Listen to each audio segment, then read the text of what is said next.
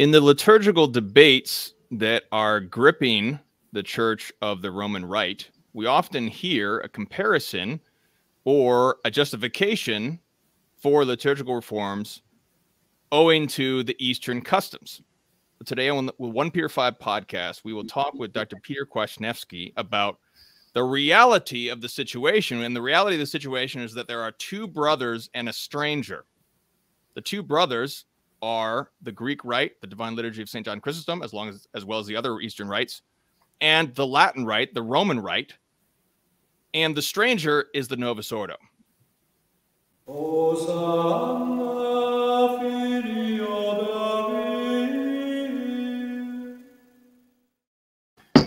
Jesus is King. Welcome to the 1 Peter 5 podcast, Rebuilding Christendom, Restoring Catholic Culture and Tradition. I'm Timothy S. Flanders, editor in chief of 1 Peter 5, and we're here with our contributing editor and weekly columnist, Dr. Kwasniewski. Always a pleasure and an honor, Doctor. Glad to have you on once again.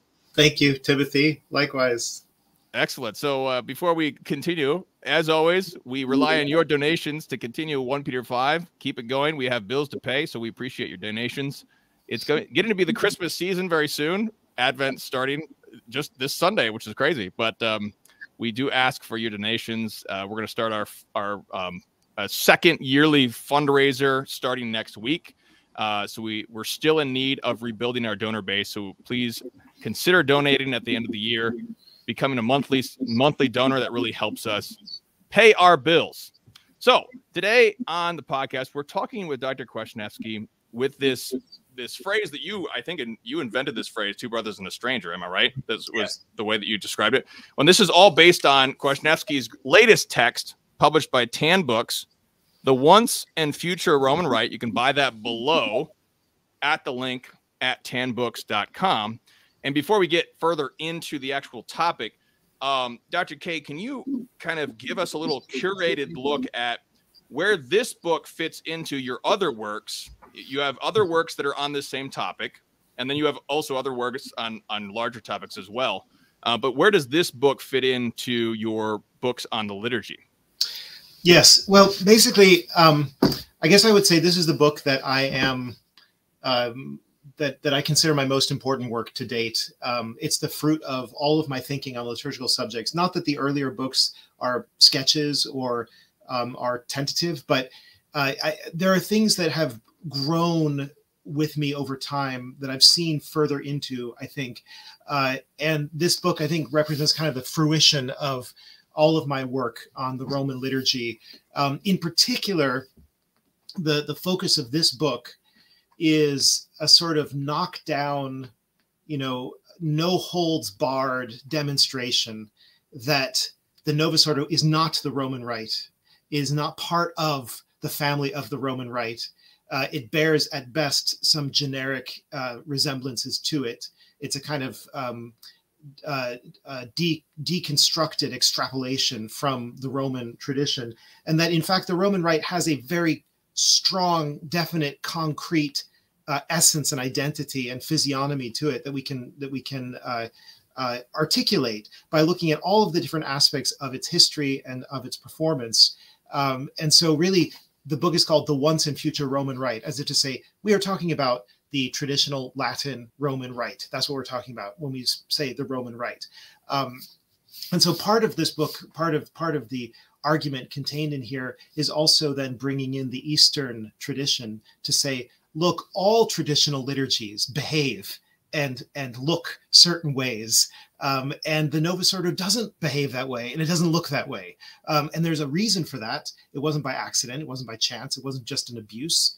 Um, and and this is a, a, a, deep problem that we have to address. So that's that's kind of how it fits into the work into the. Well, there you have it, ladies and gentlemen. Kwasniewski's manifesto, your your finest work, uh, and uh, that really says it all. It's it's a very large work, very deep pondering over years and years and years. Dr. Kwasniewski as as many should know, um, you started your journey. You had you had a liturgical journey through this whole morass of this whole crisis. Mm-hmm. Uh, and that uh, just really quickly, just want to mention uh, the article that's on the website right now is very apropos. Church Life Journal insults Eastern liturgies with amateur scholarship. and this is what we're going to be talking about is this whole problem. Uh, and it's actually occasioned by the feast day today, which is very funny. Let me see. Oh, okay. Here it is. So liturgythehome.com, we always promote this this liturgical calendar, but this will show us uh, an important feast day and uh, actually this week. So today is the feast day of the presentation of the Blessed Virgin Mary, um, which is going to show what we're talking about. Because, for one thing, this is a historical event that occurred in Our Lady's life when she was presented to the temple as a girl, as Michaela Har- Harrison has has so beautifully depicted here.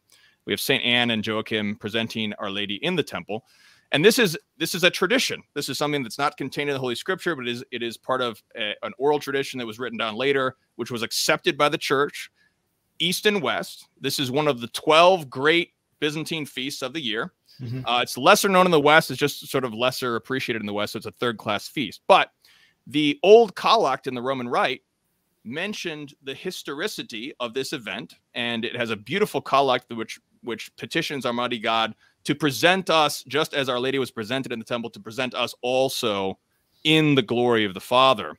But in the Novus Ordo, because of different operating principles, which we'll discuss, that collect was gutted, which cast doubt on whether or not this event actually happened, even though the church East and West has accepted this as a historical event in the tradition of the church. Now, likewise, we have the exact same thing really happening over here with this feast day of St. Catherine of Alexandria, which is happening on this Friday.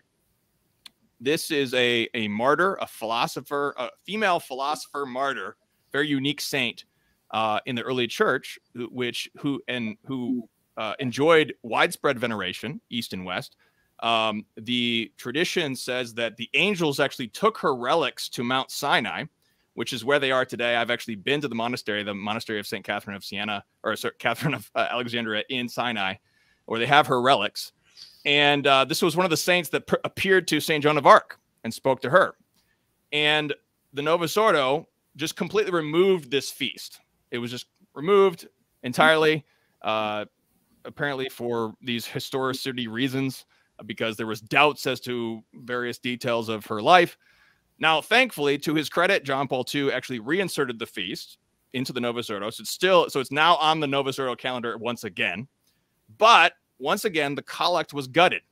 So the collect no longer longer speaks of this uh, traditional event of translating the relics. It, uh, it, I mean, there's nothing erroneous per se about it, but it once again applies this historicism against tradition. So, any comments on on the occasions of our feast days here, Dr. Um, I mean, the only comment I would make is, uh, in addition to what you've said, um, you know, about the loss of of of of uh, so-called legendary content, which has always been believed by Christians, the loss of dogmatic density, the loss of of uh, poetry. I mean, the, the, the poetry of these old prayers is is notable, and the new ones are just made out of you know plastic by comparison. Um, but but also just the fact that I've seen again and again and again how often devotion in the East and West parallel one another. Uh, that is to say. Uh, uh, feasts that were very prominent in the East over the centuries entered into the Western calendar. And sometimes it even went in the other direction, as when we influenced the Eastern uh, uh, um, observance of Christmas, uh, where, whereas they had put all their emphasis on Epiphany. So we have this kind of mutual enrichment going on between East and West. And often the saints who were removed or demoted from the Novus Ordo calendar are ones that you find on the Eastern calendar. So, I mean, uh, this is anticipating a little bit one of our themes, but the ecumenism that drove the liturgical reform was not East West ecumenism, it was Protestant ecumenism. That's what, in other words, the changes to the Roman Catholic liturgy were made with an eye to the Protestants and not even the high church Protestants, but the low church Protestants. Uh, or the evangelical Protestants. Whereas what we had in common with the East is what was marginalized uh, in many cases, as we'll get to. Yeah, that's a great point because the the only thing that the Novus Ordo actually does reflect and imitate is Protestant liturgies. Mm-hmm. I mean, when we compare the Novus Ordo to East and West, various Eastern liturgies, not the, not just the Divine Liturgy, but other Eastern liturgies. As a, in that article, we have the Coptic liturgy, all these different e- traditional apostolic liturgies contrasts sharply with the Novus Ordo, and the Novus Ordo alone imitates the Protestant Low Church liturgies. It's very That's unfortunate. right. And as as Bishop Schneider rightly points out, uh, with regard to something like the manner of receiving Holy Communion, uh, what has developed as normative practice in the Novus Ordo, and even practice that is uh, imposed by bishops' conferences, is based on Calvinist practice, not even Lutheran practice. Uh, there, there are Lutherans who receive communion kneeling in a more devout manner than most Catholics do in the Novus Ordo world. So um, we, I mean, it's it's very. This is this get when you start to get into these things. Um, then you realize, as one of the chapters in my book goes into, although I don't think we're going to talk about it much today, um, one of my chapters I talk about how the Protestant critique of Catholic liturgy ended up being embraced by the liturgical reformers themselves. That is, the Protestants rejected medieval liturgy as superstitious and as um, you know excessively focused on the miraculous and on the legendary um, and and too ascetical uh, and you know uh, and too you know too caught up with the veneration of the body and blood of Christ and this is what the Protestant reformers were saying. And then in the 1950s and 60s and 70s, you see the Roman Catholic liturgical reformers saying the same things about the Tridentine Rite. Um, so these, and these, of course, these themes, you know, you see this in Michael Davies, where he talks about Cranmer's godly order, the incredibly detailed parallels between what Thomas Cranmer did to dismantle the Catholic liturgy in England and essentially to rip the Catholic faith out of the hearts of the people, and what the liturgical reformers after Vatican II did. I mean, when you, when you see these things, you can't unsee them, right? And you have to ask why are these why are these parallels there? Yes, absolutely. Um, the uh, Pope Francis is concerned that the trads are weaponizing the Latin Mass to reject Vatican II, but the reality, which is even a far bigger problem than even that apparent problem, is that, as you said, these reformers, these Catholic reformers, are weaponizing the Novus Ordo to reject Trent. Yes. That's what, and this is what Joseph Ratzinger himself said. This very thing. He said the reason they hate the Latin Mass is because they hate Trent.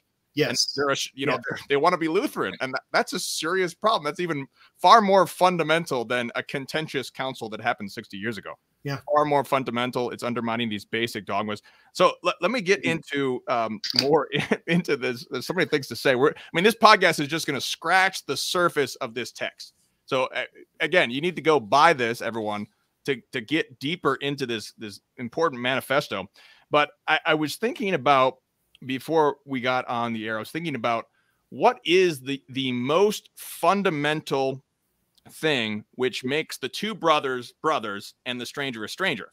And uh, many people talk about very superficial mm-hmm. similarities mm-hmm. between because sometimes they're they're they're saying, oh, the Novus Ordo is actually restoring active participation and and things like, or they you know reading and whatnot, reading the vernacular uh, things that are happening in the Byzantine liturgy. But these are all very superficial things, as you show. And I wanted to actually read from chapter one. You have a whole chapter with the two brothers and strangers that you you titled that, but chapter one, I think, cuts to the core of this. What is this essential similarity? So I'm going to quote. I want to quote from uh, page 28, and uh, this I think gets at the essential. The essential brothers are the principal tradition but also the principle of the experience of the Almighty God by means of that tr- liturgical tradition. It's just it's not it's not just this museum piece as as the as the critics say. This is an this is a, an experience of God, and this is what you write on page twenty eight. You quote various people who have experienced the Latin Mass. You say the lady who wrote this, I was so overcome by the solemnity and beauty of the Mass that I was reduced to tears. The family man who confessed, I am finding that the TLM holds a beauty and truth that are simply missing elsewhere. Uh, the Franciscan alumnus who sighed, I feel like I finally come home. The husband and wife who were astounded at how the ancient mass elicited their prayer. The scholar who noted, its demands bring forth a response in us. And here's, I think, the money quote that you have in your, in your text here. You say, please note that such reactions are not in response to the real presence of Christ, which is there in any form of mass because this is what people often say. Well, it's just Jesus is in the mass. It's got the real presence. The Novus Ordo is valid. Why are you complaining? You say they are reactions to a concentrated constellation of ecclesiastical traditions that was handed down for centuries and indecorously scrapped in the post-conciliar reinvention of our corporate self-image. Traditional liturgy has the power to induce in us appropriate attitudes when we are assisting at the holy sacrifice, privileged to be in the flesh and blood presence of our Lord. Humility, reverential fear, devotion, contrition, self abandonment, tranquil joy. End quote.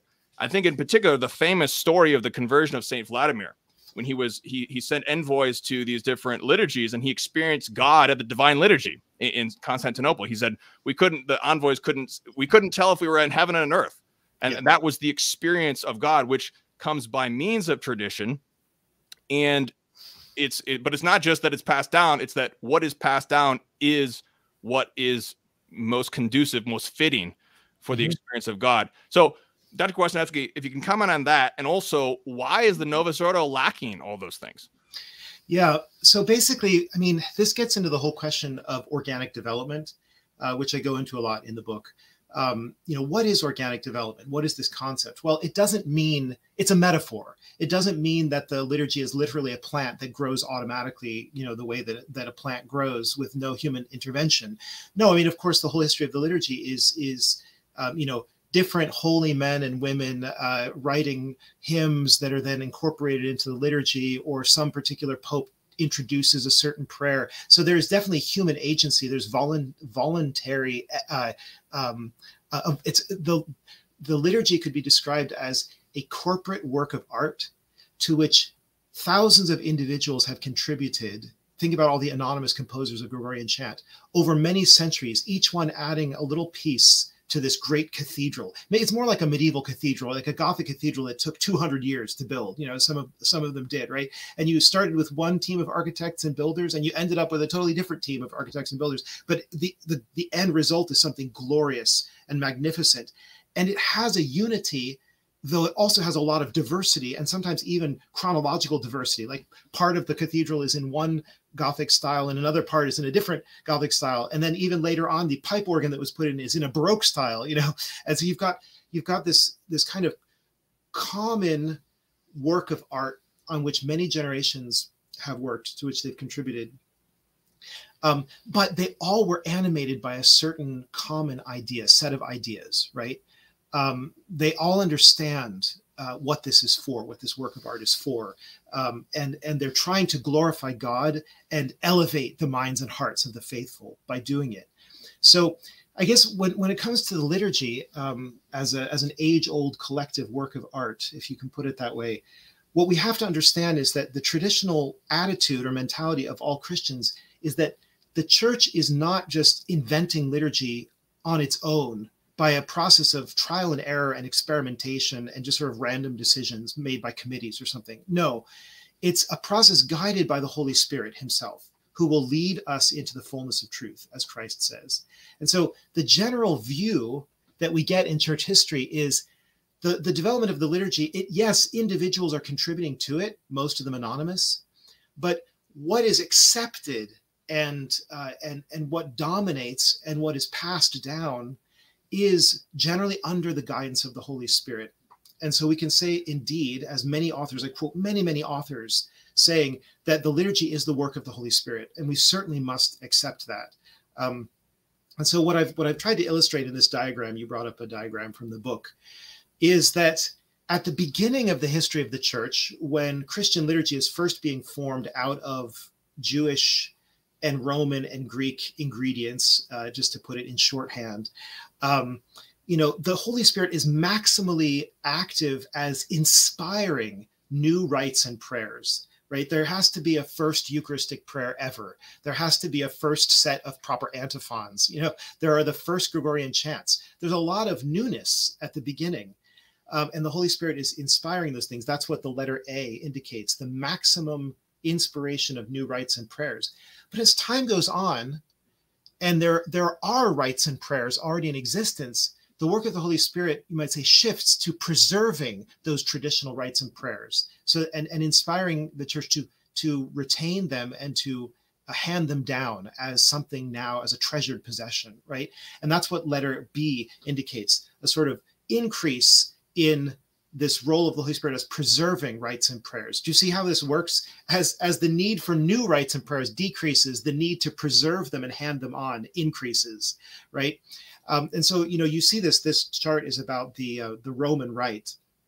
Um, maximum pluralism, variability, and plasticity in the apostolic age, right? There are certainly, you know, the Roman canon, uh, I mean, contrary to what some authors say, was not likely to be on the lips of St. Peter in the form in which we find it in, you know, the 1962 Missal. That's not the point. The point is that it developed slowly, and by the time you get to St. Gregory the Great, the Roman canon was already seen as a classic anaphora, the way that the Roman church consecrates the Eucharist is with the Roman canon. It's already traditional by the time St. Gregory the Great uh, makes the final edits or redactions to it. And from the time of Gregory the Great, to the present, the Roman canon has seen almost no change, right? Why is that the case? Is that because everybody just suddenly lost their creativity or had no more new ideas? No, it's because they saw that this is a rich, adequate, beautiful, uh, and and traditional way of praying, right? And we love that. We love that as Catholics. The Holy Spirit gives us the love of tradition. That's not it's such a bizarre thing in the church that that the love of tradition now is something you have to defend. That's if you rate every father of the church, every doctor of the church yes. takes it for granted that tradition is simply something you love. You love what's handed down from from your forefathers and how they worshiped, how they prayed, what they believed. Dogma and discipline and liturgy, all these things were alike, things that you received en masse, right, as a block, right? And you didn't ask yourself, like some kind of rabbinical scholar, you know, oh, well, what's de fide and what's merely disciplinary? And and oh, liturgical things they can change, but dogma can't change. And so I guess we receive dogma from tradition, but we don't receive liturgy from no, that's absurd. That's a completely schizophrenic mentality. I mean, precisely because of lex orandi, lex credendi, right? We receive the tradition as liturgical worship and as dogma, all as one big, huge um, content, right? Uh, and so that's what I'm showing with this, this the gradually progressing and developing liturgy um, is our inheritance, right? And I, I, know I'm going on here, but let me just mention one thing that I say in the book, and this is so important, right? People sometimes say, well, look, if the if the history of, of the liturgy shows additions being made over time, um, then can't we just you know then then what's wrong? I mean it doesn't that mean that it's just a human uh, product and that we can reconfigure it as we want at any later moment?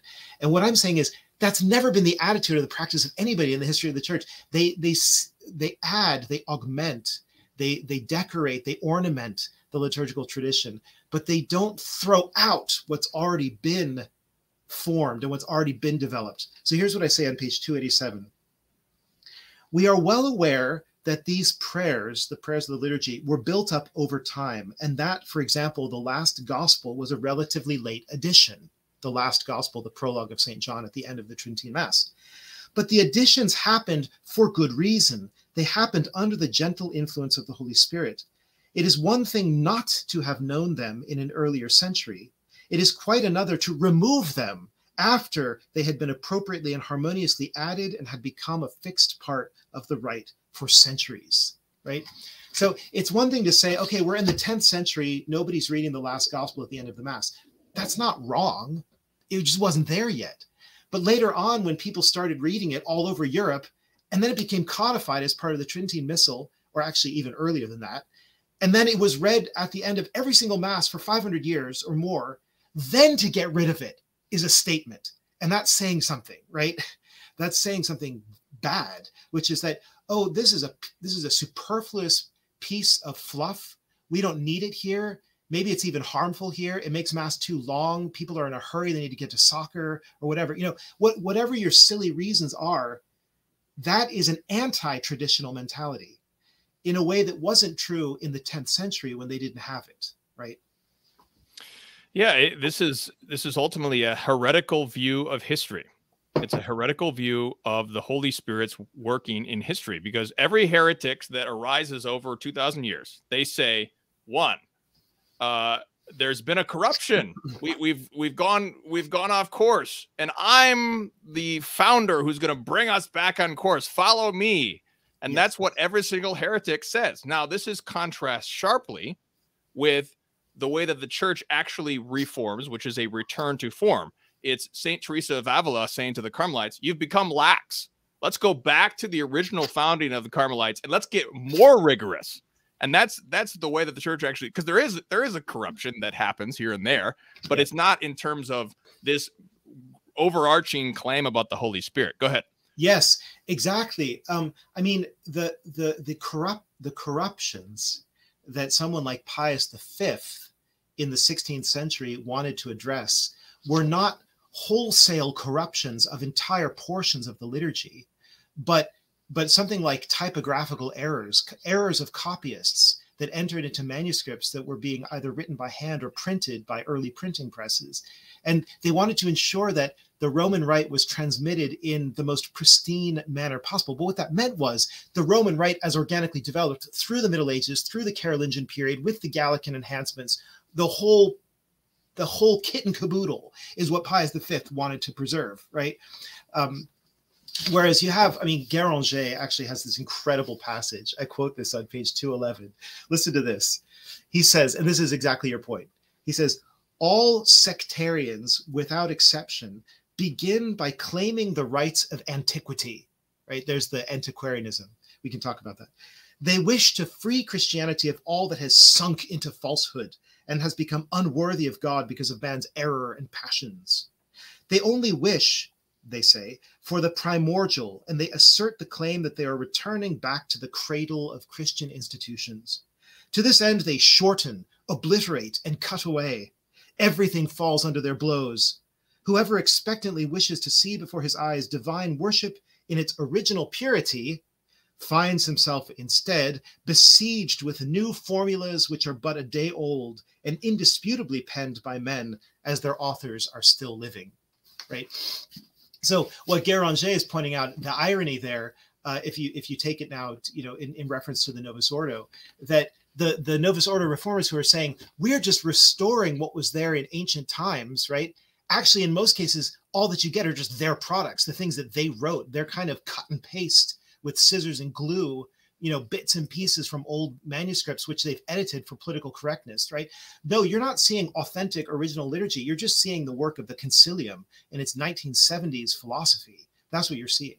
Yes, and, and this is uh, as you, I just want to emphasize again what you just said. It, it's so strange when you look at the fathers and the scholastics and all the popes. It's strange that we have to defend ourselves as traditionalists. We have to defend Yeah. that we're defending tradition. That this is Well- the assumption of everybody. exactly and i think i think the main reason and i definitely don't want to digress about this because we have so much else to talk about but i think the main reason for that that cognitive dissonance is the hyperpapalism that we've talked about before that is Yes. the, the view that crept in that the pope alone is worth more than all of tradition and that his word uh, his word vetoes the whole of tradition. If the pope i even talk about this in the book a, a friend of mine who said obviously i disagree with him but we're still friends uh, a friend of mine who said if the pope gutted the entire roman liturgy of everything that's ever been there and rewrote it from scratch and then put his papal stamp of approval on it that would be the roman rite okay? Well this is pure nominalism. I mean this is this i don't even know what to call this. It's, it seems like insanity to me.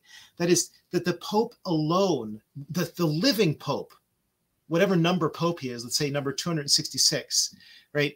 That this pope alone by his absolute monarchical command can abolish and abrogate the entirety of christian tradition of worship the entire lex orandi and simply redefine it. I mean i think that's where you get to at the kind of extreme uh, you know with with the hyper papalists if you push them on their own principles that you they end up having to say something like that um, now why is that wrong i think it's wrong because of this point that the way the church worships for century after century after century is is something that God wanted to be there. It, and if you end up saying, as the liturgical reformers did, that there were things erroneous or misleading or deficient about the way the church was worshiping, not just for a few years, but for centuries and millennia, right? I mean, then I think you're just calling into question the, the Catholicism as such. You're calling into question the Christian faith.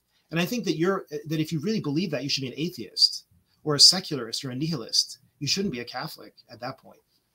Yeah, I think that the uh, our critics place so much on the Pope that they don't realize that they're actually undermining 2,000 years of history. You're you're not you're undermining dozens of popes. You, yeah. you think that we're undermining one pope, but you by your you are actually undermining dozens of popes. And I want to just point out, I just linked this below. This is one of Kwasniewski's finest essays. That that because people many of our critics don't understand they, they think that we're Eastern, we're making Eastern Orthodox arguments or something like that, or, or that we're trying to, you know, undermine Vatican One. That's not the case at all. And this this essay makes the proper distinctions and helps to clarify, you know, because because we live in this this ultramontanist era, this clericalist era, we can't even talk this way without people misunderstanding and thinking that we're trying to make an Eastern Orthodox argument. That's not the case at all. Yes. Um, I, and yeah. I want to let me get I want to get back to your your um, ch chart number two here. Okay. But I just wanted to say this is exactly the same way, East and West, liturgically. And I think of um, particular cases where um, there has been some form of iconoclasm. So the, the most wide reaching anathema against iconoclasts was at the Seventh Ecumenical Council, which said whoever rejects an ecclesiastical tradition, written or unwritten, let him be anathema. Because the debate at that time was about sacred images yes. which is yes. a comparatively lower tradition in terms of its its authoritative weight, a comparatively lower to the liturgy itself, yes, to the to the actual rituals. So we're talking about something. We're talking about sacred art. You know, this yes. is whoever does that, let it be anathema. Go ahead. Yeah, exactly. I mean, I, pardon me, Martin Mosebach has made the point, uh, and as you know, I'm very fond of him. I quote him a lot. Um, that the liturgy is the greatest icon of all, right? In what sense? Well, an icon is an image of Christ. It is a vehicle through which we encounter Christ and through which he gives himself to us, right? Well, in an icon of Christ, it, you know, painted on a, on a board, it does that in a very obvious, manifest way. There is the image of Christ. We interact with him. He interacts with us. Um, but the liturgy is the is the supreme and primordial icon. It's the icon of all icons. It's it's the home of the icons in the in the artistic sense, right? They, they have they wouldn't have any function were it not for the the divine liturgy. Um, and so, I mean that's what endows them with their iconicity, right? So when when the Protestants were the Protestant iconoclasts were attacking the Catholic statues and churches and they were also burning missals and tearing them up right? They understood that this is all of a piece all all of a piece. Yeah let me just uh i'm going to put this to to conclude our tradition conversation which really this is so this is one of your great charts from the book. Um, so compare i'm just going to read this out really quickly especially for the the audio listeners.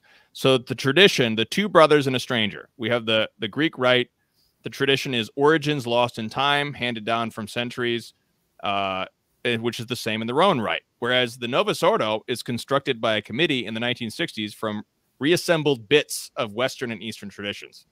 Now, once again, the two brothers, Greek Rite and Roman Rite, both are attributed to great saints, but mostly anonymous in authorship. Whereas, contrasted with this, the stranger, the Novus Ordo, the authors and compilers are known by name and most without reputations for sanctity, and none of its architects has a cause open for canonization. Archbishop Bugnini was later exiled for his schemings. So we have machinations going on here, not not saints driving this. And then uh, lastly, it has its authority from tradition, as we're saying, as well as papal legislation. Whereas the modern Roman Rite does not have its authority from tradition in and of itself, merely the ratification of the Roman pontiff. So that's the tradition. I wanted to just emphasize um, one thing before we get to our next chart, um, which because this gets into it a little bit more, and that, that's what the original the the quote that I first read from your your um uh, was your your chapter one, which was so important, was the experience of God, because I think that many people who are commenting about this controversy have not heard mass and attempted to pray in these rites for a long period of time. You may mm-hmm. have visited once, you may have seen a YouTube video, but if you are not praying in that ritual for a period of time, six months to a year, it is difficult for you to understand why are trads so up in arms about this situation? Yes. You know, pe- people people yeah. are saying, "Well, hey, it's just it's the real presence. That's all mm-hmm. you need." But mm-hmm. if you haven't actually experienced it, it's very difficult for you to understand what you're talking about. Yes, unfortunately. Yeah, no, I mean, look, there. This is what you say is true. Experience. So the reason why experience is so important when it comes to traditional liturgy, Eastern or Western, is that these traditions are very rich, very ancient, uh, very dense.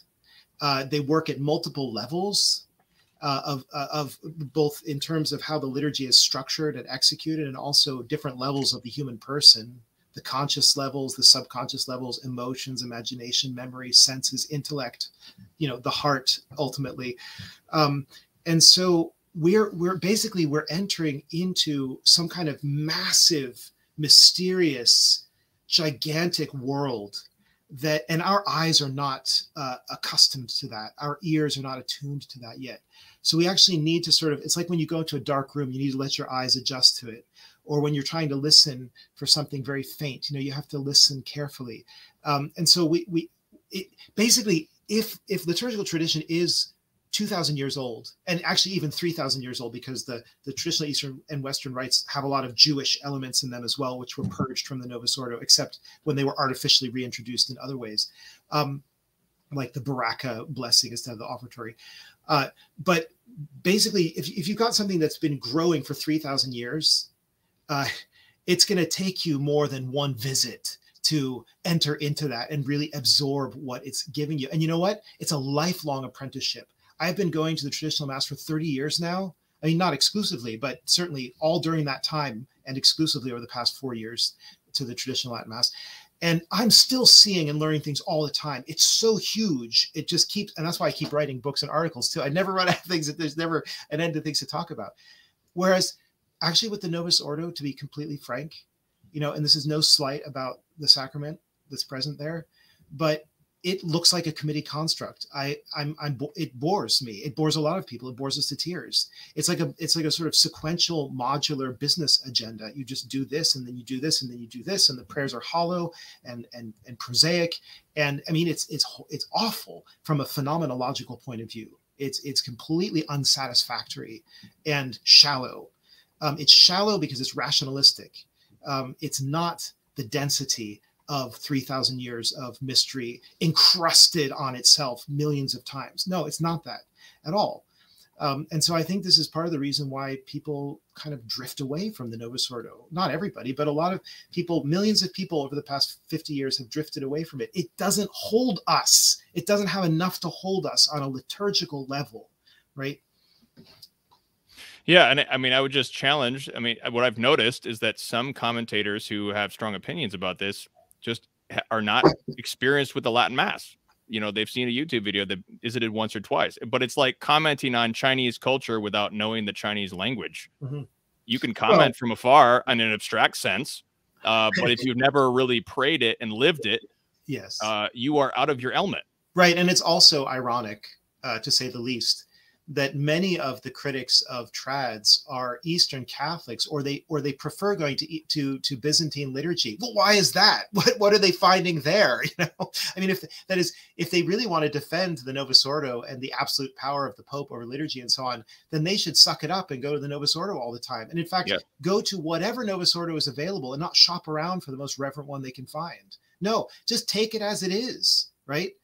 Anyway but this is this yeah i mean and, and, so i mean just and just so everyone's aware i i went to divine liturgy for four years plus every single sunday. So i would say i i have a knowledge of the divine liturgy. Uh, i was eastern orthodox. I've been there done that. The grace is not grass is not greener over there. Um, and i've worshiped in the latin roman rite. Um, and i've also attended the novus ordo for many years too. So mm-hmm. i i'm i'm speaking from my own experience and I I think that there's a knowledge gap or an experience gap maybe. Yes. Uh, for uh, you know, just respectfully, I I I, I issue this respectful challenge, this trad challenge. Go to the Latin Mass for six months straight, and and see if you if you notice the difference there. But we'll get into the Eastern Catholics. I wanted to get this um this chart here, which summarizes your points in chapter two.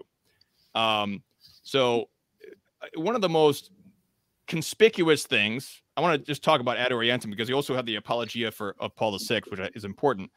One of the most important conspicuous elements, obviously, is Ad Orientem. Uh, and the table altar and the versus populum stance in the Novus Ordo. Now, some people say, oh, well, that's not the way it was promulgated. That's not what Vatican II says. You can have a revert novus ordo. But as you show, this is actually not the promulgator of Vatican II, Paul VI. He himself promoted versus populum. And there's a reason why there's table altars in every single Roman Rite church, nearly across the entire world. It's not because you know there's just a spontaneous, uh, huge expense to put in every single church this table altar. No, this was the more or less official policy, uh, de facto situation. It's not as simple as saying, "Oh, well, that's not what Vatican II says."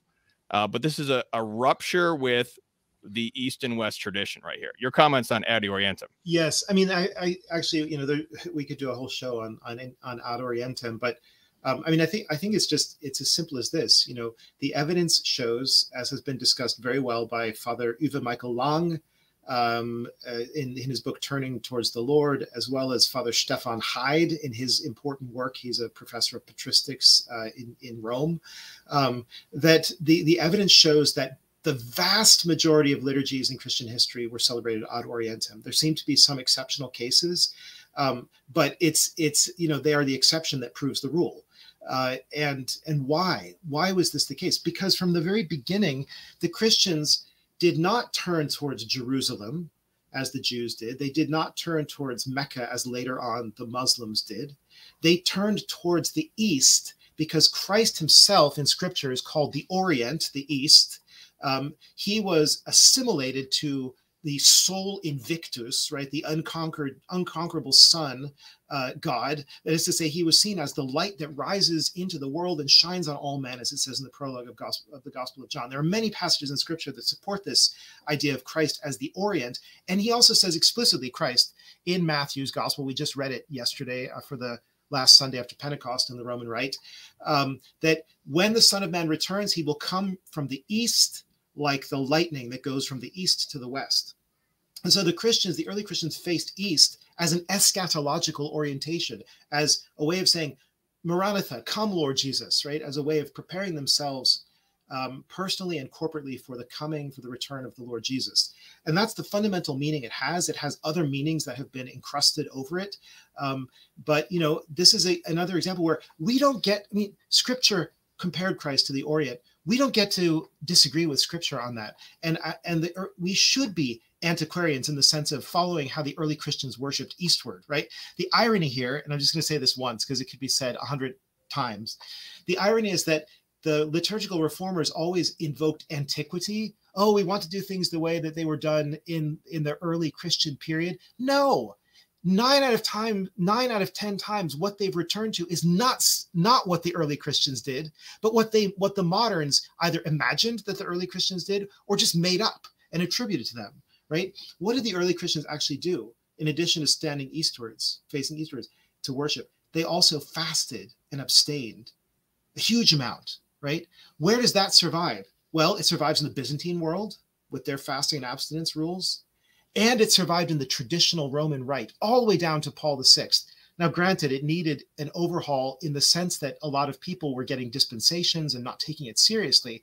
But what did the reformers do? Instead of going back to the ancient custom of fasting and abstinence, they just abolished it, right? And this is what you see again and again with Ember Days, Rogation Days, you know, the octave of Pentecost, the season after Pentecost all sorts of things that were ancient customs, one year annual cycle of lectionary. All these sorts of examples are the ancient, the truly ancient Eastern and Western common customs that were thrown overboard, thrown out by the liturgical reformers.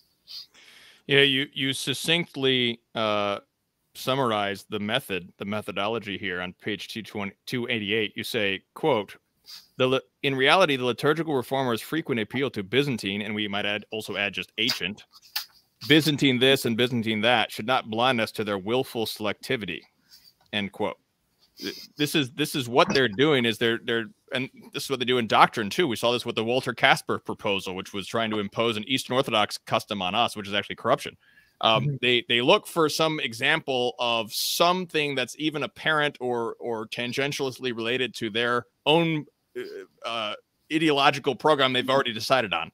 Yes. They go into history and they try to find some example somewhere that might be somewhere somehow related to that. Yes. They say, oh, well, look, and this, as you just said from that Guéranger quote earlier, this is exactly what all heretics do. They, I mean, yeah. and I'm not saying every single person who did this was a heretic, but this is the same historical mindset of trying to cherry pick things from the from the uh, the history, which is dubious right. in some cases, scholastically dubious. We don't even know exactly what yes. happened here or there. Right, um, and that's what, that's why I have. I mean, I have in this book, I have a whole chapter on the phrase "mysterium fidei," which was which is found in the in the formula of the consecration of the wine in the Roman Rite has always been there. It's there in the earliest manuscripts we have. It's never not been there for the whole history of the Roman Rite. Um, why is it there? It's mysterious. I mean, I go into into the different explanations that have been given. Even Joseph Jungmann, sort of like the you know the the the uh, the hero of the liturgical reformers. Even Joseph Jungmann says, you know, this is a very mysterious thing. You know, we shouldn't touch it, whatever. And then and what do the liturgical reformers do? They rip it out of the place, the only place it's ever been, and then they turn it into uh, an occasion for a popular acclamation, which has never existed before. They're just making stuff up right? Um, because of their own ideas about active participation, whatever. Let me give you an example of this Byzantine craze, the craze for artificial Easternization of the Roman Rite. Okay, because that's part of the problem that we're talking about here is the times when the liturgical reformers said, Hey, we like that idea over in the East. Let's jam it into the Roman Rite where it's never existed before.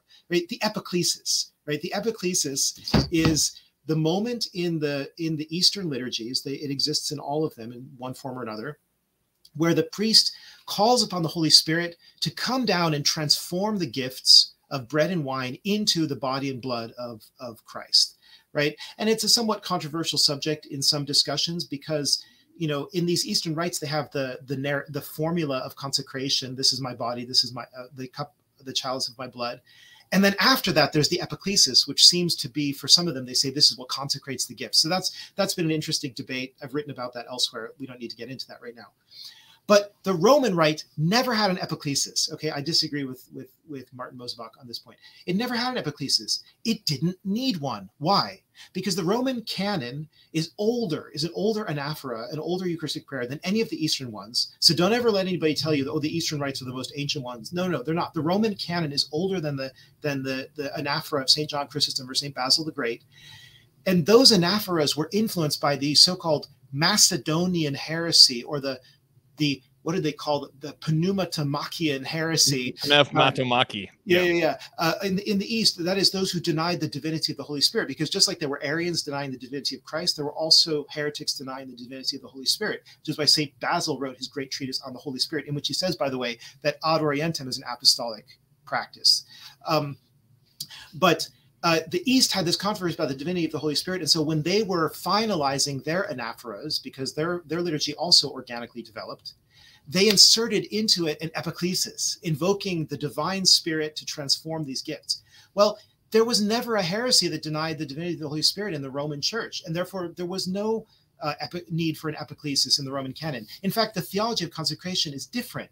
For us in the West, the priest invokes the Almighty Father and the Almighty Father, the Pater Familias of the whole cosmos, uh, the Almighty Father is so pleased with his own Son, in whose name the priest asks him to transform the gifts, that he does it by his omnipotence, right? And, and this is a very Roman way of thinking. The father in the family has all the power in the family. So what he says goes, okay? So to forcibly insert an epiclesis into the Roman canon would be to denature it, to completely misunderstand the theology behind the transubstantiation there. Okay, not that the Holy Spirit isn't involved, but he's not explicitly mentioned, right? Um, so that's an example of where, in all of the newly created Eucharistic prayers, which is also a huge aberration, there's never been a Eucharistic prayer other than the Roman canon in the West, they inserted all of these Greek style epicleses, right?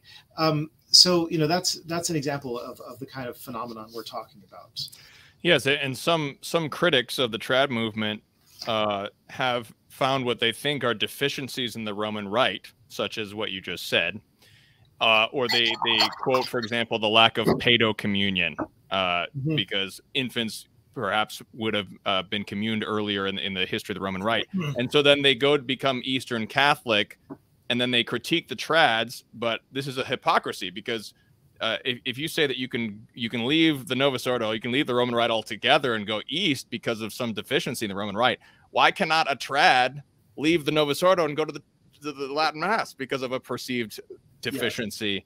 Yeah. but even though the fact that they're you know this this whole argument is is misunderstanding because it's den- again it's it's making making some form of the claim that there's been a corruption basically. Yes, because and, and oh, yeah, we have to recognize that that I mean this is something John Paul II I think was very good on, but not just him.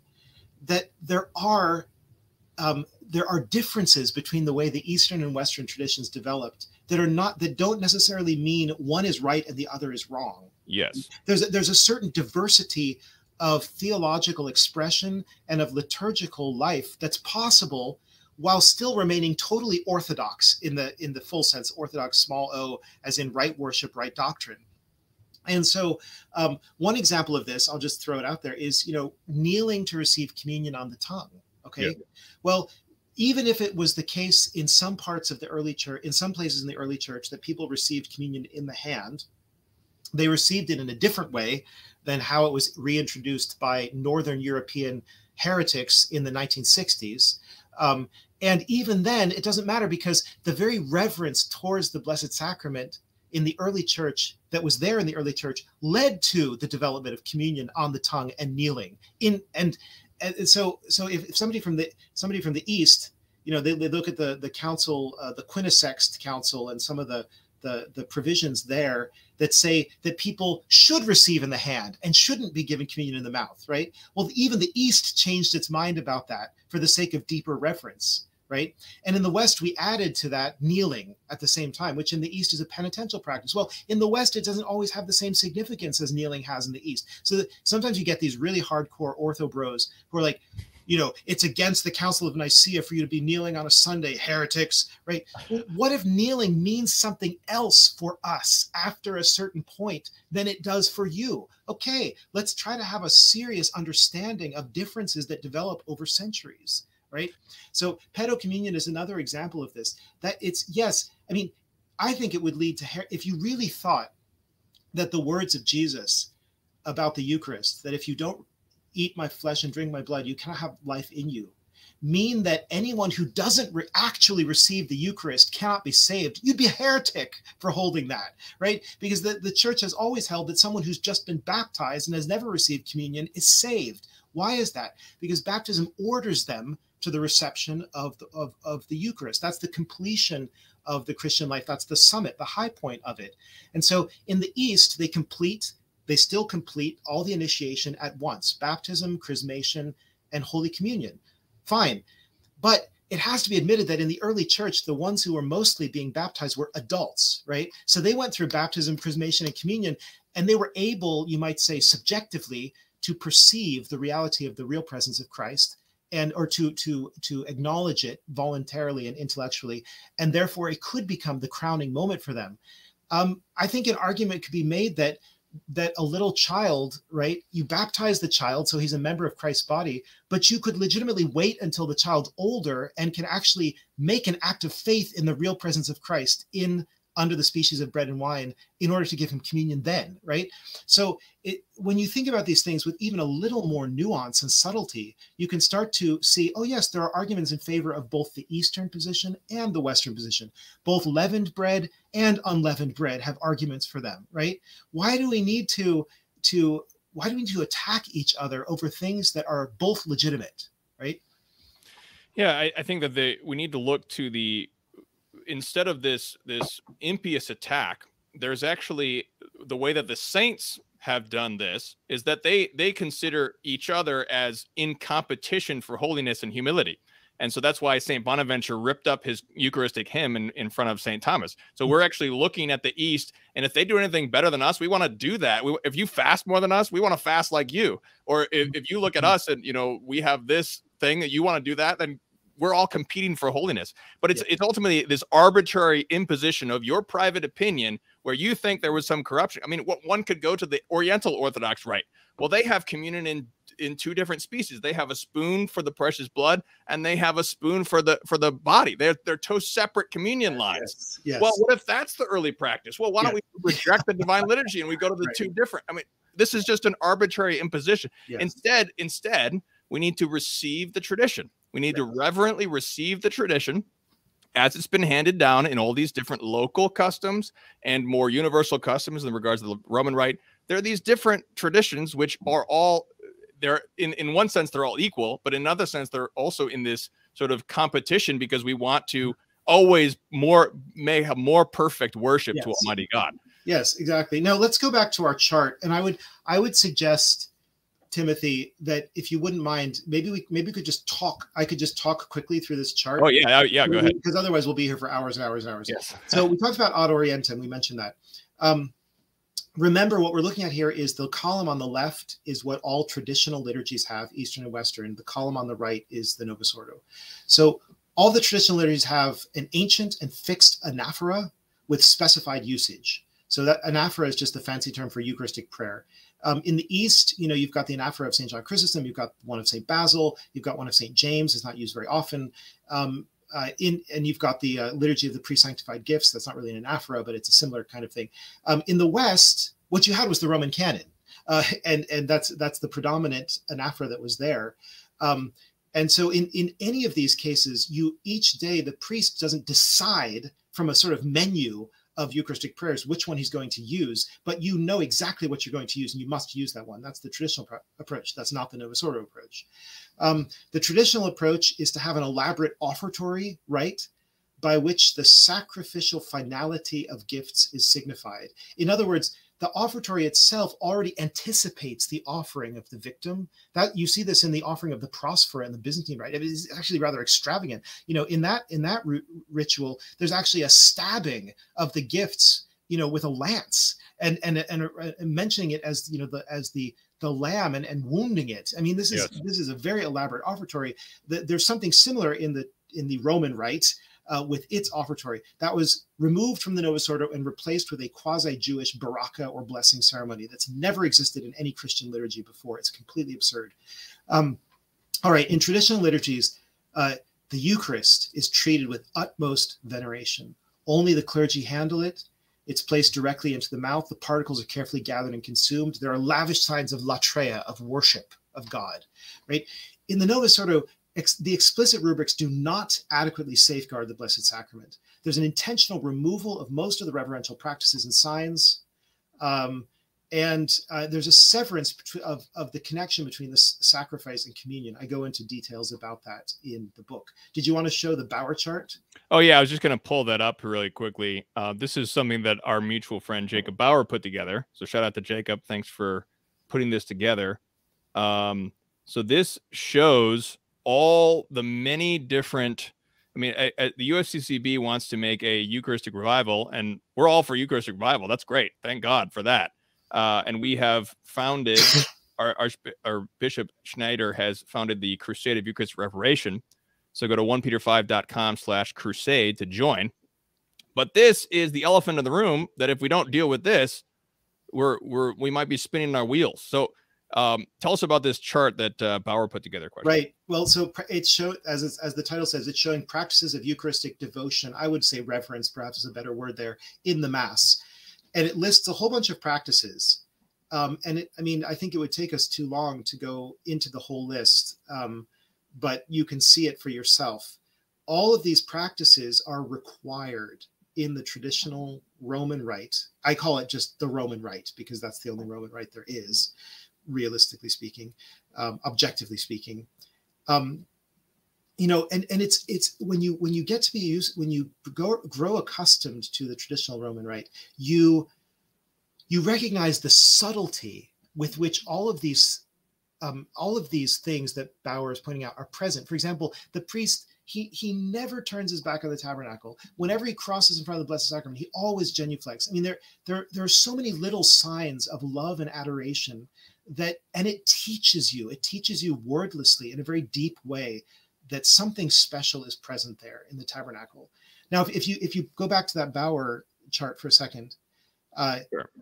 then th- you can see that on the other hand all of these things are either optional in the novus ordo or they're suppressed. Suppressed is maybe a strong word maybe you say abolished. That is they don't exist They, they're they're not part of the the ceremony of the ritual anymore, um, and the, and the Vatican has clarified in a number of occasions if something is not there, it's not supposed to be done. Um, and similarly, these optional things, very very sadly, uh, tragically, scandalously, I would say, the, they are usually optioned out of existence, as a priest friend of mine put it. That is, if something more reverent is an option, it's almost never done. Now, I, I know there are young, good, young, faithful clergy out there who are trying to do all of these things, but you know better than anyone what an uphill battle, what a steep climb you face. Every single traditional option you choose is a battle for somebody at the chancery, maybe the bishop, maybe the pastor, or another priest, or the people, or the Susans and Karens, you know, whoever it is. Uh, it's a battle. Every single option is a battle. And no wonder why people get tired of that and they just go with the path of least resistance, which is let the lay people do everything. It doesn't really matter. We can't control this. It's a disaster, right? All right, let's go back to our chart, the other chart. Okay. Uh, yeah, let me see. And I mean, this is just the the Eucharistic reverence is always there in, mm-hmm. in the Eastern and Western liturgies. Yes. Um, uh, let's see. Okay, got it. Go ahead. Right. Um, so then another point: all traditional liturgies have hierarchically structured clear roles in the liturgy for priest, deacon, subdeacon, lector, acolyte. Only men vested in the sanctuary do these things and they do them with simultaneous action. In other words, lots of things are going on at the same time in the liturgy. In the Novus Ordo, the hierarchical offices are canceled out or confused. The distinction between clergy and laity is blurred. Roles of men and women are mingled in a way that would only be imaginable after the sexual revolution. And you have linear, modular, sequential liturgy. That is, typically only one thing is happening at a time. Only one thing is allowed to happen at a time because of this rationalistic presupposition that everybody has to be following everything at every moment. Well, you, if you can only think of one thing at a time, as St. Thomas says, then of course you'd have to have a liturgy that's like an agenda of a, of a business meeting where one thing can only one thing can happen at a time. But it, the traditional liturgy is like the universe itself. Millions of things are going on at the same time in the universe or billions or trillions of things are going on at the same time. And in the liturgy you know you have the priest saying one prayer and you have servers doing something else and you have the choir singing something else and the people might be saying their own prayers. It's this it's not chaos. On the contrary it's like it's like a symphony where all different sorts of instruments are playing together and they're all playing different things in different timbres at different times but it all comes together in one kind of symphony of, of praise of worship.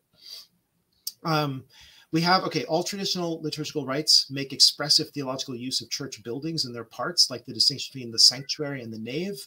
Um, only certain people can go into the sanctuary. Sometimes there's even then a, a bigger barrier um, as in an iconostasis in an Eastern church. Some Eastern rites use curtains to so that nobody can see what's going on at the most solemn parts of the of the liturgy. Right, the Novus Ordo gets rid of that stuff. Um, let's see, you've got yeah. Here, here's here's an example. This is. Uh, yeah, this, this is a Coptic iconostasis. There's three doors and there's three curtains. Yes, exactly. Right. And so, by the way, when these um, these pseudo scholars who published at Church Life Journal, I say pseudo scholars in regard to liturgy matters, whatever else they might be actual scholars in. Um, they, they they they wrote uh, Cavadini, Healy, and Weinandy wrote an article in Church Life Journal that said about the traditional Roman rite that it it cuts the people off from the offering of the sacrifice um, and it gave various reasons for doing that. Well, everything they said would also have been true of the traditional Eastern liturgies. So they insulted all of the Eastern liturgies in what they wrote as well. And they said it was. They they also said it wasn't even an abuse of the Latin Mass. It was intrinsically within yes. the Roman Rite itself. Exactly. It cuts people off from oh yeah bad and, ecclesiology. And they actually ended up saying that the Tridentine Rite, which they falsely said is only 400 years old, in in reality even if you take the strictest definitions, uh, it's a thousand years old, and much of it much older than that. Uh, but they were actually saying that there were intrinsic theological deficiencies in the Tridentine Rite. Now, I mean, I find that astonishing that anybody would say that about the way that the Catholic Church has worshipped for over a thousand years, and the way that the Eastern churches worship for all their history as well, right? And they and they don't see uh, you know, the elephant in the room, which is the theological deficiencies in the Novus Ordo. I mean, it's it's astonishing that that there could be such blindness, but you know, this is what we're doing. Yes. All right, let's go back to the chart. Um, in all traditional rites, you find uh, the chanting of fixed liturgical texts according to age old melodies, right? Whether these are Byzantine modes or Gregorian chant modes and, and melodies. Um, and these texts, the liturgical texts, the orations, the antiphons, the readings, uh, the uh, the anaphoras, and so on, they, they cover the whole of Christian doctrine with honesty, excluding nothing difficult or uncomfortable. That's what you find in Eastern and Western rites. In the Novus Ordo, the normative mode is text spoken aloud in a declamatory manner for didactic aims. It's very verbose. Chant is rarely used. It's an option, but it's rarely used. Texts lack stability and fixity. There are lots of options. There's a certain amount of extemporaneity that's allowed. The texts tend to be dumbed down. That's been demonstrated. I'm sorry if you're insulted by that, but it's just been demonstrated. I, have written about it in my books. Lauren Pristas has written about this. Um, and it ex- and this most of all, it excludes difficult or uncomfortable truths. We see this in the careful editing out of difficult or uncomfortable truths from the lectionary. As in spite of it being so much bigger, it actually contains less of the full message of divine revelation than the traditional one-year lectionary does. I think you could make that argument very, very convincingly. Um, you know, the Roman canon talks about predestination. Every single day the roman canon mentions predestination. Where is that in the novus ordo? You know what i mean? So this is eh, you know you there's so much missing there. And that's the thing. Thomas pink points this out about official theology people notice what's present but they don't notice what's absent right? For obvious reasons right? What's missing? Well i don't know what's missing. Well the only way you could know what's missing is if you knew what the tradition had already right? And this is where your six month you know trad challenge comes into into play. I i mean i like to joke with people that i became a, a, a traditionalist by reading my daily missal. And i just brought my daily missal to mass and i read and i was like what the heck? This I never saw any of this before. Yeah, talking about sin and hell and mortification. Wow. I mean, you know, you, you get to December 6th, right? I'm going to mass for the feast of Saint Oh, Nicholas yes.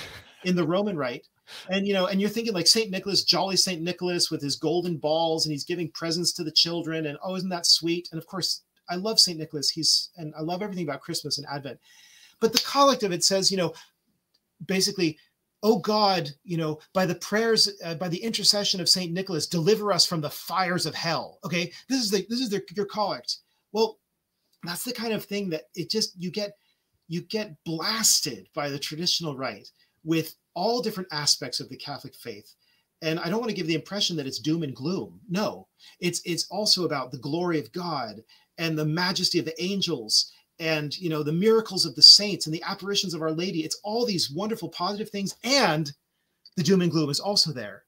And when you if you think about that as like a huge sphere of Catholic of Catholic reality and Catholic truth, in the Novus Ordo, that sphere is much, much confined right?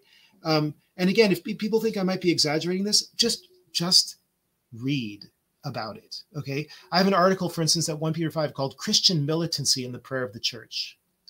If you read that article, you'll see exactly one illustration among countless illustrations of what I'm talking about. The theme of militancy, of the church militant, of the Catholic faithful being soldiers who have to fight the world, the flesh, and the devil, who have to fight bearing the standard of Christ the King, who have to bring the kingdom of Christ into the world. All of that language has been is there in the old rite and has been stripped out of the new right? Um, in keeping, I guess, with Nostra Aetate and Dignitatis Humanae and who knows what else, right? Mm-hmm. Yeah, and, and I just want to emphasize this is why the Latin Novus Ordo is insufficient. You can have a perfectly perfect in every way Latin Novus Ordo, but the Latin text itself still censors yes. the word hell. Yes. Yes. So basically, basically, here's the thing. Okay. Uh, there are two levels of liturgy. There's the the external phenomenological level, the aesthetic level, and, and, and we can use the expression smells and bells to cover that level. And then there's the actual textual, rubrical, and ceremonial content of the liturgy. Right? What's being prayed, how it's being prayed, you know, uh, and those two levels should not be separated from each other. They're like a body soul composite. Um, and so if somebody just wants the smells and bells, I mean, I love them too. I want the incense and the chant and the beautiful vestments and everything. But if they if they say that's enough, that's a skin deep, that's a superficial approach to things.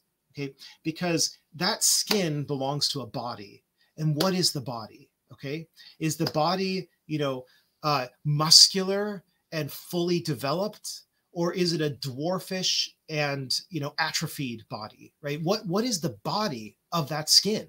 Right. That's why the aesthetic dimension it's important. It's extremely important, but it's not sufficient. Yes, absolutely. So there's two more quick points sure, I wanted sure. to wanted to touch on, and I want to get a few questions. We're uh, getting close to the end of our time here. One is uh, the vernacular. This is something you mentioned in your book. Another superficial similarity here, because yes. as you point out, there are. It, it, depends on which Eastern Rite you're going to, honestly, because yes. some Eastern churches do have a lot of uh, understandable. What I'll say is understandable language, because I want to I want to contrast uh, you know, just vulgar, la- vulgar language that you understand versus high language, like Elizabethan English. We all understand that's a more sacred form of English. But even in the the largest, it, and we have to go to the Orthodox world here, but the largest Eastern Church is Russia, and they use Church Church Slavonic. The, yes. the common person doesn't even understand that.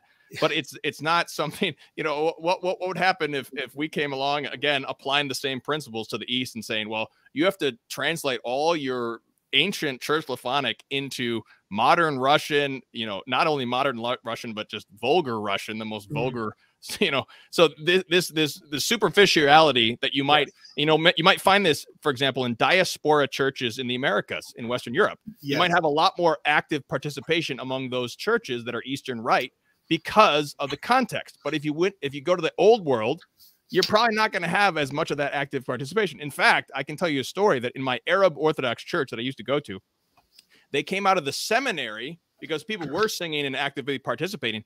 But the people who were coming from the seminary saying, we have to restore the old customs and have just the chanter chant this, no more congregational singing, you know? So there is a strong tradition for uh, a, a, similar situation hmm. uh, in the East.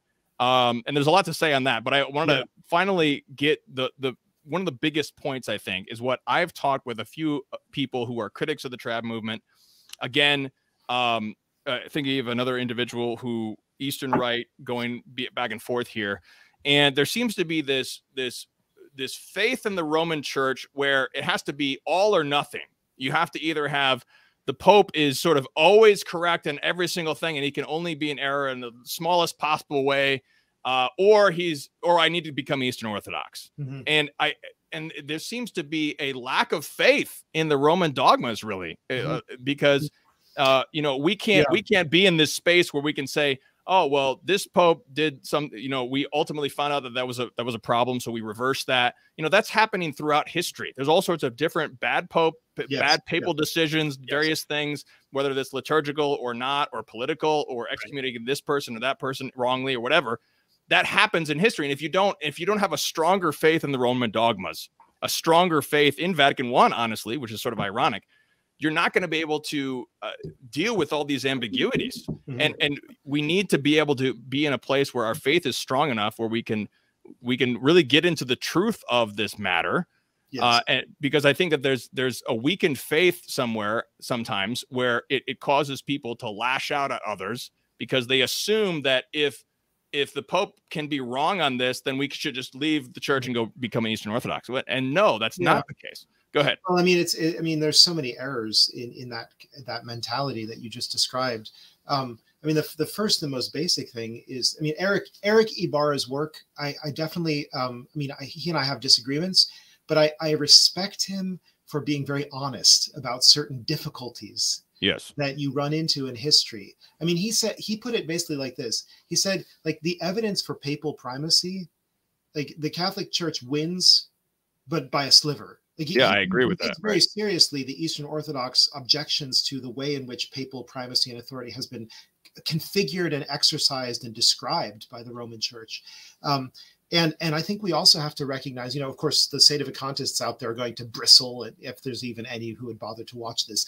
But you know, we have to look at. I mean, John Paul II and Benedict XVI both also said it's not a sin to ask whether the way in which the papacy has been exercised uh, could be modified or could be rethought in order to bring about a reunion with the Eastern Orthodox.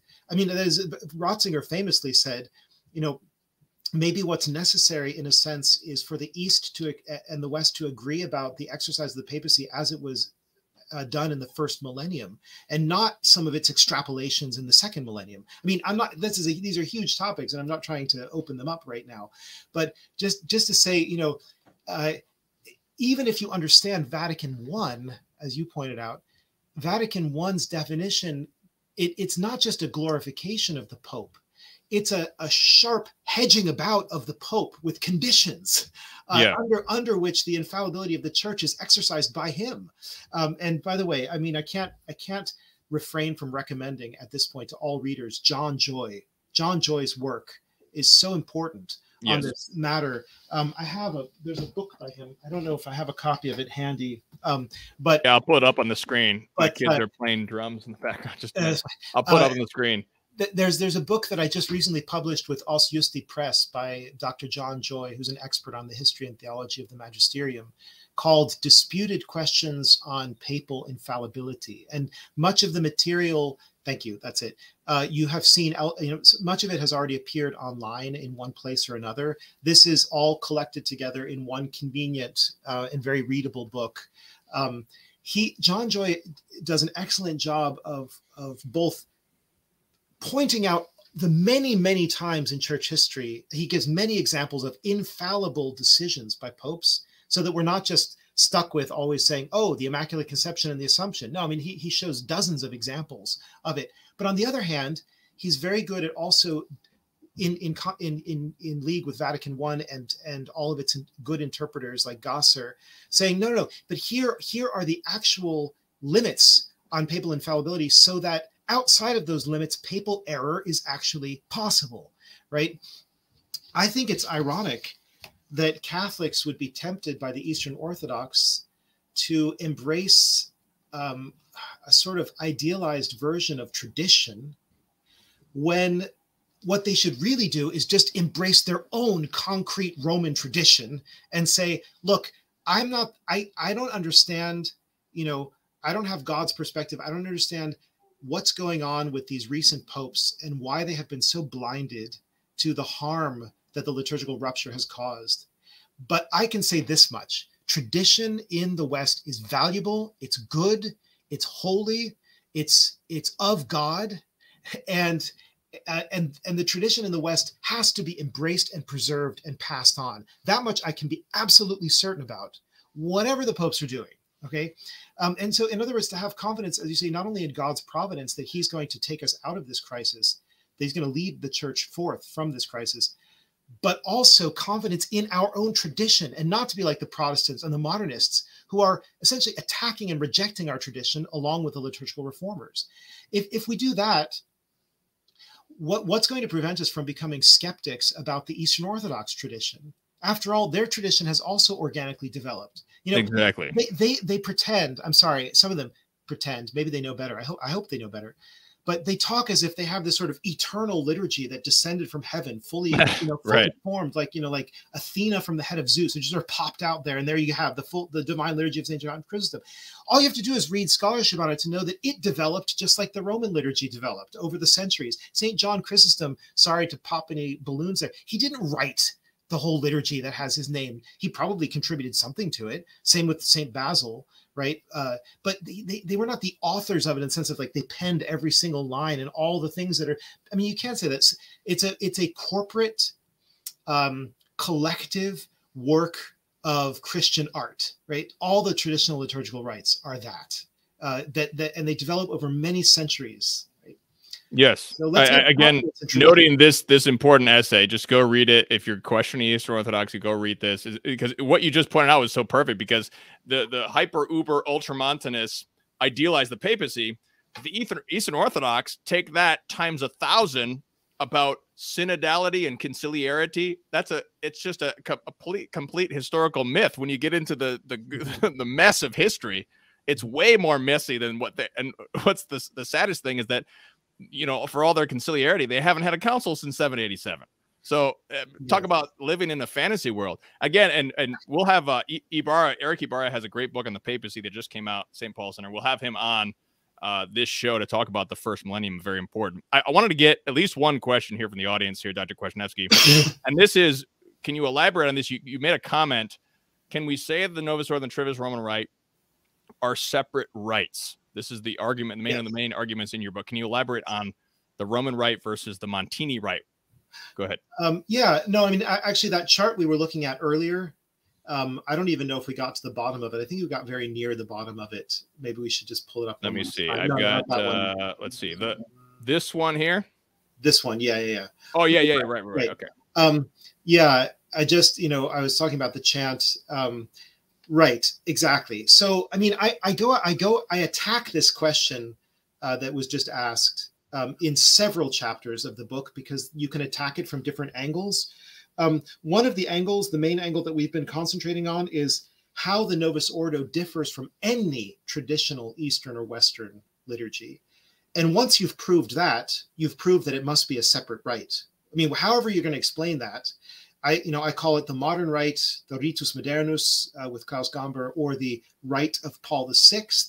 Um, you know, that raises questions about do popes are, are popes actually authorized to draw up rites from scratch? Um, but that's another just another time we can talk about that. Um, but it's the, the, it would be a ritus modernus, something else.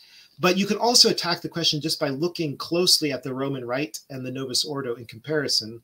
Um, what makes the Roman Rite the Roman Rite? People could come up with different lists.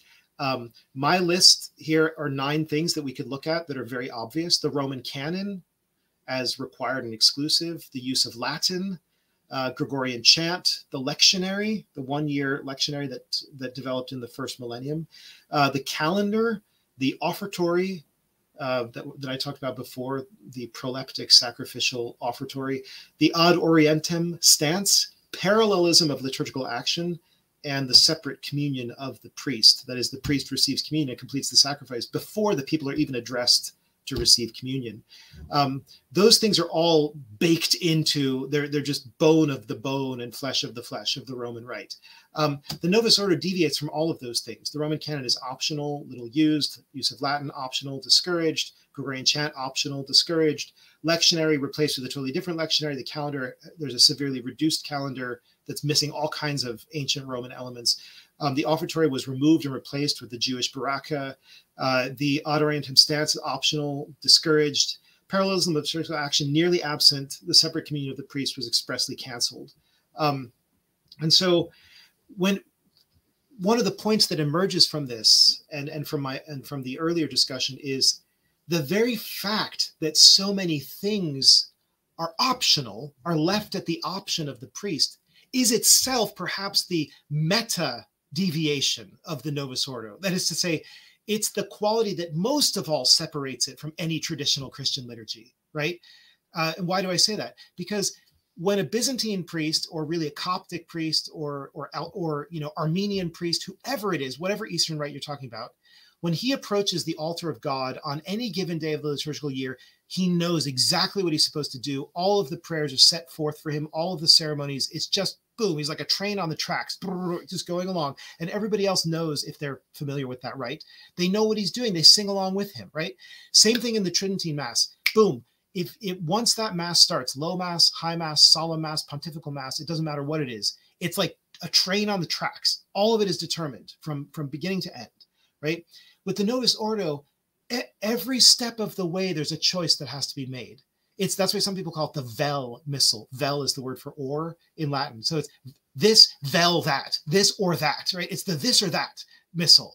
And, and that on many levels, even down to the whole ethos of the experience, whether it's a Life Teen, you know, so so whether it's going to be a smells and bells uh, oratorian style Novus Ordo or a Life Teen jamboree with rock music, right? Even that's at option, right?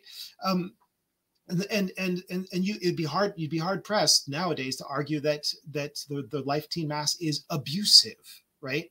Uh, according to whom? What rubric is it violating right? So i i think here we're, we're really dealing with um so as i say the the the meta deviation of the novus ordo that most separates it is its malleability variability unpredictability spontaneity etc all those qualities are from the point of view of liturgical history, they are negative. They are bad. Okay. Uh, and there's a reason why the church very rapidly moved away from all of those things in the early centuries to the extent that they existed. The Holy Spirit was driving the church towards fixity, determination, uh, constancy, um, you know, solidity, stability. These are the things that the church developed very early on in her worship. We, we have time for one more question. I want to just bring this up because this is kind of appropriate to um, we're about to enter the liturgical season of Advent at the Roman Rite, and this is related to that somewhat. The uh, in Proxima says are the Gesima Sundays, that is Septuagesima, and the meat fair cheese fair analogous, that is that is the uh, Triodion, the pre-Lent season in the Byzantine Rite. Hmm. Are they analogous by coincidence? Is there a more direct connection between the oh. two? And this brings up an entire liturgical season that is pre-Lent, which was excised from the Novus Ordo, which is also in the Byzantine Rite. Yes. Comments on that. Exactly. All right. So, so just for the for the sake of viewers who don't necessarily know, the, um, the Septuagesima season is it's a kind of symbolic 70 days before Easter, but it's it's the, the three weeks prior to uh, Ash Wednesday. The three Sundays prior to that are a kind of pre-Lenten season where Violet begins to be used, uh, where where the uh, the Alleluia, you know, uh, is is uh, replaced with um, attract, you know, and so there's a kind of like there's a sort of pre-Lenten period there. Uh, and my understand, and then the similar similar thing exists, exactly analogous in the Byzantine rite. Um, so once more, a sign of their kinship as well as of the antiquity of this pre-Lenten season. Why why do they have the pre-Lenten season? I can't answer the very technical question of was there a direct influence of east on west or west on east? I don't know. Um, my thought uh, on the basis of what I can recall reading, is that it was such an obvious thing psychologically that you needed to prepare for Lent some weeks in advance of Lent beginning. So you're not, as Lauren Pristas says, you're not parachuted into Lent. Suddenly, like, oh my gosh, it's Ash Wednesday. What am I going to be doing this Lent? You know. So I think there was such an obvious psychological benefit to that that it developed um, independently in both traditions. That each of them has a pre-Lent for obvious reasons. Um, but I could I could be mistaken about that. There could Absolutely. be some more direct connection. Oh yeah. So I, I just want to point. I mean, this Advent starts this Sunday. It's a perfect time if if you have not looked at all these issues. It's a perfect time for you to pick up a Latin Mass, or you can, like in Matt Missal, or if you can't afford it, they're kind of expensive. You to divinum, divinumofficium.com and you can read these prayers for yourself. And in particular, uh, I have an article where I, it was Advent that I had my own red pill moment with the Novus Ordo. I have an article called Advent Uncensored at 1 Peter 5, and I talk about some of these texts. Hey, we already mentioned St. Nicholas, that's coming up, uh, but the collects and the post communions on the Sundays of Advent talk about, uh, you know, turning the way, array the wrath of God, despising earthly things. Um, we have more of the more of the paraliturgical commemoration of the four last things, and ultimately fasting fasting during Advent. In, in the Roman Rite before that, there was the uh, Ember Days, which were days of fasting. And then even earlier, there were various customs of fasting, as well as in the Eastern Rite, there's fasting for Advent. So it's a perfect time to, if you really want to be trad, take on some penance for Advent. And uh, any co- final comments for us, Dr. Kwasniewski? No, I just think um, you know there's there's just so much uh, to say about this topic, and it's uh, I mean I feel like we've barely scratched the surface, but yes. um, but I, I will make one closing comment, which is that everything you can find extravagantly in the Eastern rites, you can find subtly in the traditional Latin rites. Um, and and and this is something that takes time. I, I too, like you, was uh, spent several years in the Eastern uh, milieu, uh, becoming very familiar with, especially the Divine Liturgy of Saint John Chrysostom that's used most often. Um, and at first, what impressed me was the differentness of it. You know, so much singing and so long, and so many texts, and you know, just and the stuff happening behind the iconostasis and whatever. So, and, and that's I think initially what hits you about a liturgical rite is how different it is from anything you've experienced before.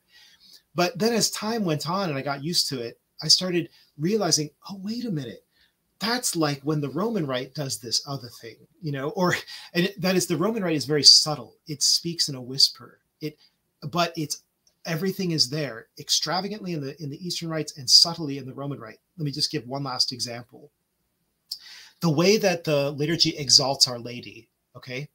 Well, in the Eastern rite, it exalts Our Lady, you know, to the skies. I mean, it says something like, uh, "Holy Immaculate, you know, Most Blessed and Glorious Lady of Theotokos, Never Virgin Mary." yeah, exactly, exactly. You know, it is truly right to bless you, O Theotokos. Uh, more honorable than the cherubim, more glorious beyond compare than the seraphim. And there are many texts like this throughout the, mm-hmm. the Eastern liturgies.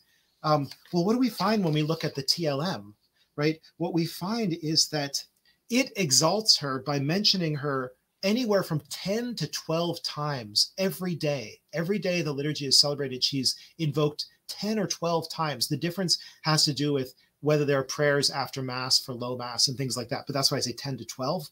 Um, and and so you know i mean uh, she's mentioned in the confiteor in the creed the suscipe sancta trinitas the roman canon the libera nos after the lord's prayer the you know she's all over the place there but quietly and subtly right? Unlike in the in the eastern rites. But what do we look at what do we find when we look at the novus ordo? They sought to downplay our lady for ecumenical reasons for for protestant ecumenical reasons.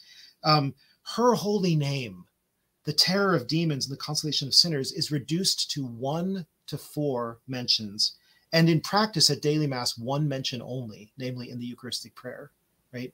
Um, this is, I mean, this is that's the kind of thing that it took me a while to figure that out, you know, that that to kind of see what was going on there. But once you realize it, then you say it's one of those aha moments where you say, ah, yes, two brothers and a stranger. Yes, I think that the Marian devotion is is the perfect way to conspicuously show this two brothers and a stranger. Absolutely. Um, and on her feast day, let's invoke Our Lady over all of the intentions here. We hope that uh, this has been helpful to you. As always, you can go below to the show notes that'll have the links to uh, Dr. Kwasniewski's book and a number of the articles we've mentioned. Uh, so this is a great book to buy for a priest. Buy one for yourself. Buy another one for a priest. Give it to a priest because unfortunately, uh, there are many, as you said, there are many good priests out there who are struggling to make the Novus Ordo more reverent because they're good priests, they're good men of God who are care about these situations, but they may they may just be totally unaware of of the depth of the issues. And this book, which is the manifesto of years and years and years of scholarship and pondering and prayer, praying the Novus or praying the Roman Rite, uh, Dr. Kwasniewski has given us. So, Dr. K, thanks so much for writing this important text. Uh, so, buy it below. Merry Christmas to your priest. Let's pray. Oh, go ahead. Do you have a, something else? Just laughing. Okay, let's pray an Ave, and we'll also invoke our patrons at 1 Peter 5. Let's pray. name of the Father, the Son, and the Holy Spirit. Amen. Hail Mary, full of grace, the Lord is with thee. Blessed art thou among women Blessed is the fruit of thy womb, Jesus. Holy Mary, Mother of God, pray for us sinners, now and at the hour of our death. Amen. Our Lady of Fatima, pray for us. Blessed Emperor Karl, pray for us. Saint Maximilian Kolbe, pray for us. name of the Father, the Son, the Holy Spirit. Amen. Jesus is King.